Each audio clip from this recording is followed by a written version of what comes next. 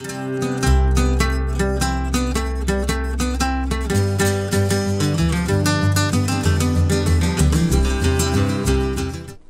bienvenidos a Jauja Cocina Mexicana. Mi nombre es Janet.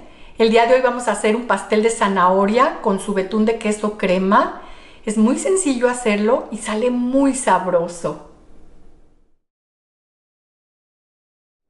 Los ingredientes se los voy listando conforme los vamos utilizando y les van a aparecer aquí en letras blancas en la pantalla. Bueno, pues vamos a empezar la receta.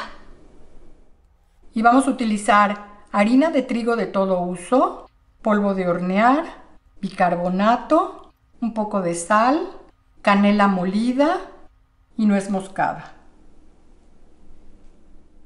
También vamos a utilizar cuatro huevos a temperatura ambiente, una taza de azúcar, media taza de azúcar morena o moscabado, una taza de aceite vegetal, yo estoy usando canola y un poco de vainilla. Y finalmente, zanahoria rallada, piña picada muy finamente, es piña de lata y esto no nada más le va a dar sabor, pero va a hacer que el pastel no esté seco. No es en pedazos. Y por último, me han llegado muchas preguntas que qué tipo de cucharas uso para nuestras recetas. Estas son el tipo de cucharitas que uso. Son de medidas internacionales. Estas son las tazas para medir sólidos y estas son las tazas para medir líquidos. Lo primero que vamos a hacer es incorporar el polvo de hornear y el bicarbonato dentro de la harina. Lo revolvemos y lo vamos a pasar por un colador para cernirlo.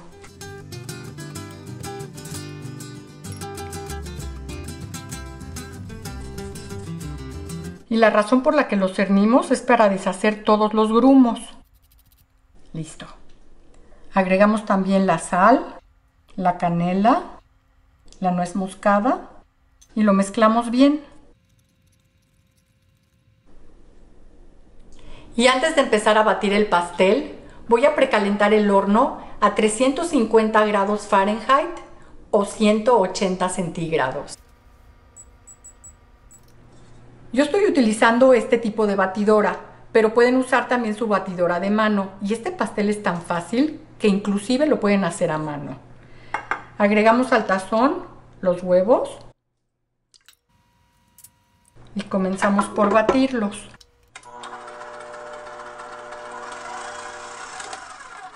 Y después de un par de minutos, cuando los huevos ya esponjaron ligeramente, añadimos los dos tipos de azúcar y seguimos batiendo. Y finalmente empezamos a incorporar el aceite y la vainilla. Y después de 3 o 4 minutos apagamos la batidora y vamos a incorporar todo lo demás.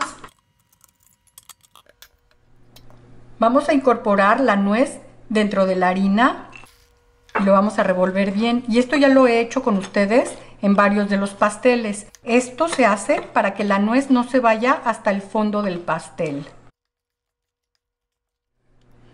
y empezamos a incorporar los sólidos dentro de los líquidos.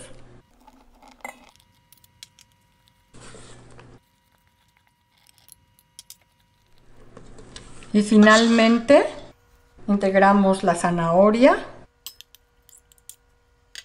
y la piña. Y lo mezclamos.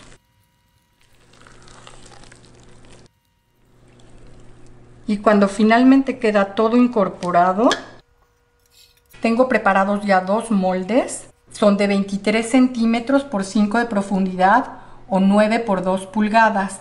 Y están completamente engrasados.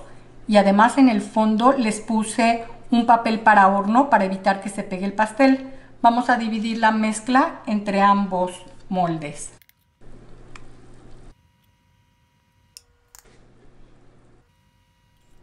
Y una vez que ya están listos, se van al horno.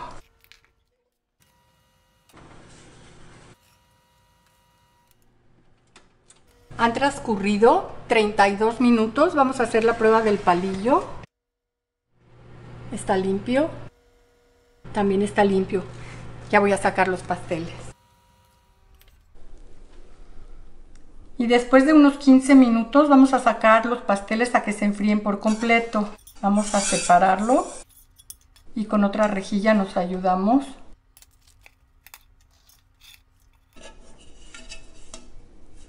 ¿Ven? Ya ni siquiera salió el papel, se quedó ahí pegado. Y sacamos el otro.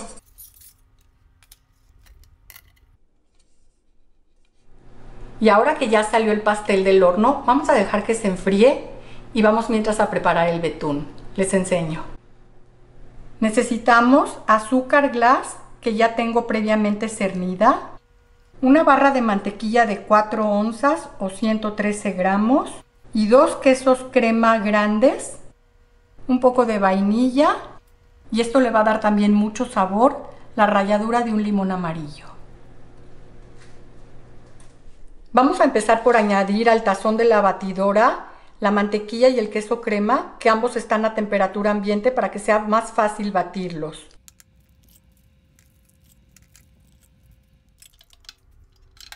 Y vamos a cremarlos. Y después de varios minutos, cuando ya quedaron bien batidos la mantequilla y el queso crema, vamos a empezar a añadir el azúcar glass, que recuerden que ya estaba cernida. Y esto lo tenemos que hacer poco a poco y despacito para que no salpique por todas partes.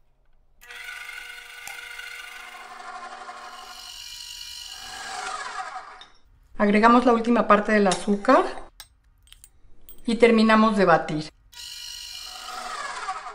Y de vez en cuando bajen de las paredes del tazón el azúcar que se haya quedado pegada para que se incorpore a la mezcla. Agregamos la vainilla y lo integramos.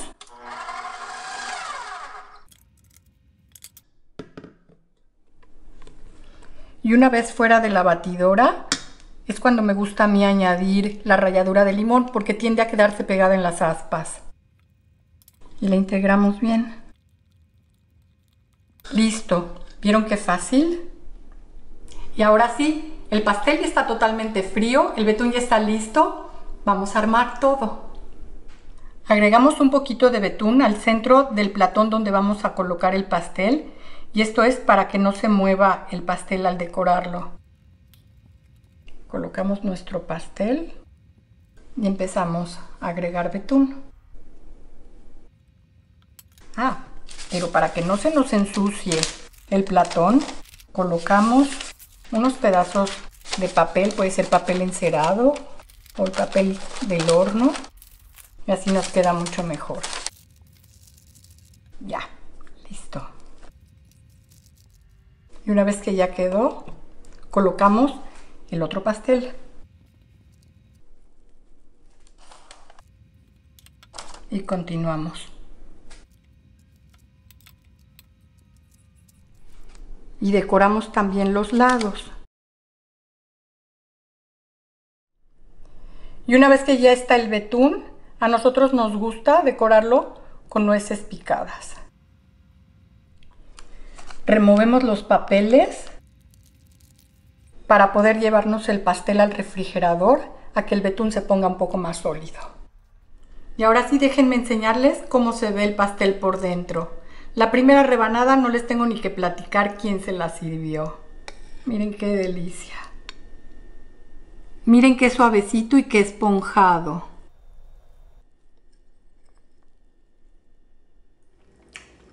Les había dicho que Janet es bien pastelera.